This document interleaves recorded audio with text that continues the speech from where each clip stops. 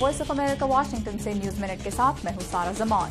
Pentagon ने कहा है कि अमरीकी फौज ने इराक में सुन्नी अस्करियत पसंद तंजीम, इस्लामिक स्टेट के ठिकानों पर फिजाई हमले किए हैं। 2011 के बाद ये इराक में पहली बड़ी अमरीकी कार्रवाई है। सदर ओबामा ने कल देर रात गए इसकी इजाज़त देने का ऐलान किया था। अफ़गानिस्तान के सदारती इंतबात के उम्मीदवार अशरफ गनी और अब्दुल्ला अब्दुल्ला ने अमरीकी वजी खारजा जॉन कैरी के साथ मुजाकर के बाद अफ़गानिस्तान में कौमी इतिहाद पर मुश्तमिल हुकूमत बनाने के माहदे पर दस्तखत कर दिए हैं। तहम वोटों की दोबारा गिनती अब भी की जाएगी। गजा में बहत्तर घंटे की जंगबंदी के बाद हमास और इसराइल के दरमियान लड़ाई आज फिर शुरू हो गई। हमास का कहना है कि इसराइल ने जंगबंदी की तोसी के लिए गजा का मुहासरा खत्म करने की शर्त कबूल नहीं की। और आलमी इदारा सेहत ने मगरबी अफ्रीका में फैलने वाले मोहलिक एबोला वायरस को सेहत आमा की बैन अवी इमरजेंसी करार दे दिया है।